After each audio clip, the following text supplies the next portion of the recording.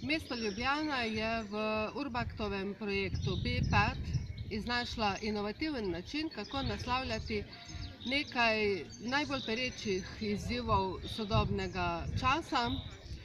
Z projektom, v okviru katerega eh, spodbuja mestno čebelarstvo, naslavlja ozaveščanje ljudi o ekološki problematiki mestnih okolij, pa in šire, z vključevanjem vrtcev in šol eh, pripravlja teren eh, za bodoče generacije, izvaja tržne, eh, tržne principe promoviranja čebelarjenja in vse skupaj zapakira v uspešen turistični produkt.